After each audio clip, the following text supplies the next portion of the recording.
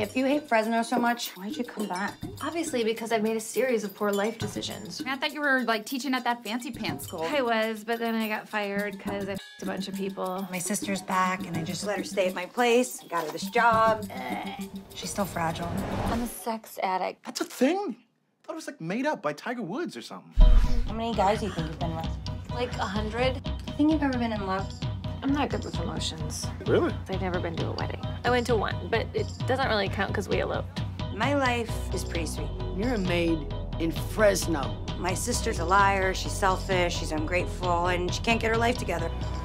Did I just kill someone? Is anyone here a doctor? I'm a doctor. Whoops. You killed an Olympian. Only if you consider hammer throw a sport, which You're a sociopath. You deserve some dignity. Everyone deserves some dignity. We want 25,000 to get out of this butt crack. There's no way we can come up with 25K in three days. we're in Fresno. I need you to come over here right now and open this cash register, and I need all the cash now. Whose great idea was it to rob a sex shop? Y'all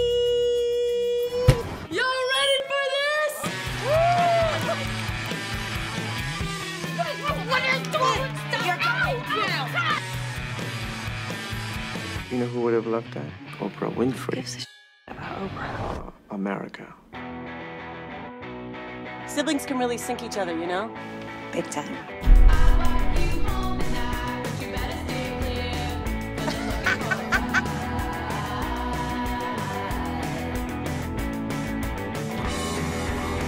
Watch a porn once in a while. Aren't most of those women slaves? They put them in a box and ship no, them that's over. no, those are the manicures.